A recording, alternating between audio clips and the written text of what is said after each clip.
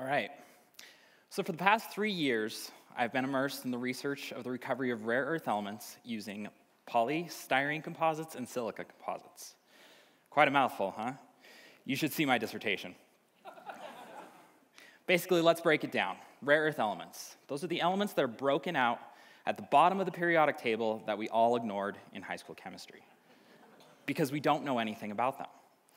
What's polystyrene? What's silica? Well, those are just composites. Basically, I'm putting them in water softener technology and seeing if they can be used in mining situations. Let's see if this goes. Apparently not. There we go. So, general announcement, right? Everybody, turn off your cell phones. Well, we're going to take a little twist on this. I want everybody in here who has a cell phone to raise your hand. Some of us have two. I know I do. Okay? I want us all to look around and take a mental picture. I want us to remember this because we're going to use it in an example later. So, when I started looking at how I could integrate my research into a TED Talk, I decided to start at the beginning and look at what a confluence was. And a confluence is a situation in which two things come together or happen at the same time. Now, I'm an engineer. I, I like simple, straightforward. I also like math. So I wanted a symbol that best represented a confluence.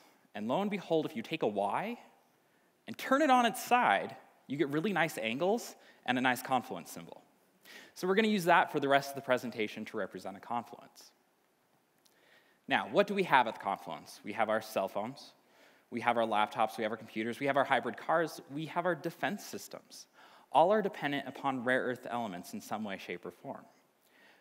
But what feeds that confluence? Well, we have mining, Mining is good. Mining is taking our natural resources and bringing it to the market.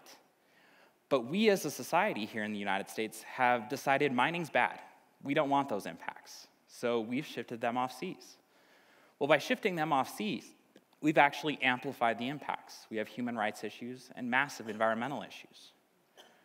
So, what's missing from this confluence? Responsible development we've basically shirked off our responsibility. I'm guilty of it, we're all guilty of it, because we want our cell phones.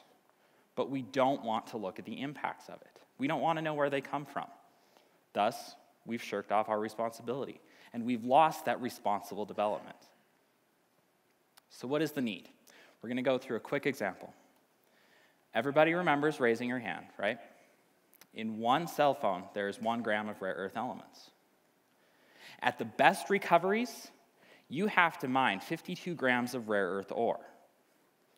Multiply that by the 6.8 billion cell phones in the world, which there's only about 6 billion people. So infants have a lot of cell phones now. that results in 390,000 tons of ore. That's roughly equivalent to five Nimitz class aircraft carriers, some of the largest ships that roam our oceans today, which by the way, are also heavily dependent on rare earth elements. That's just our cell phones. Imagine thinking about our infrastructure grids, our laptops. I'm sure we have iPads in the audience. Lump all this together, and that number goes up astronomically. So, what's the cost? Well, I've outlined to you that myself, and all of us included, as a society, have pushed off responsible development to other countries. Well, the newsflash is those countries don't know how to do responsible development. China recently has stated that they're going to cut off stockpiles of rare earth elements to the United States. A lot of us would just shirk this off because we get our, all our technology from China anyway. But if they reduce their, their output of stockpiles to us, we can't develop our technologies. Our defense systems suffer. Then we've looked to other parts of Africa? Can they give us rare earth elements? Well, they can. They can mine them, they can give them to us. But they use things such as hydromining. Hydromining hasn't been used in the United States in decades because it has massive environmental impacts. And one of the most grave things that we see happening is child labor. We don't have child labor in the United States. We expect our children to learn. But in Africa, we put those children to work. Why? So we can have our cell phones. So, what do we have? We have the need and we have the cost. But what balances those? This has to be a balanced equation. And what balances that is research and development. And that's where I've been for the last three years. I've been getting my PhD, and I've been lucky enough to be funded by the Army Research Laboratory and the Office of Naval Research to find ways to efficiently and economically recover rare earth elements to make us competitive and make sure that we continue to have our cell phones. Now, I'm going to take you through some of the research that we've done and show you how we can continue to be competitive. But first, a general chemistry review. Everybody remembers hydrogen. Hydrogen's compact, hydrogen's simple, easy to deal with. It's equivalent to that New York apartment that you know where everything at because it is so small. then you have rare earth elements. They're huge. They are equivalent to that mansion that is locked behind those gates and you don't know what goes on. And this is parallel to how it acts on the atomic level because we don't know how rare earth elements interact with matter.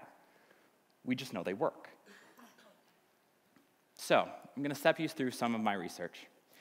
On the top left hand side, you'll see a general polystyrene structure.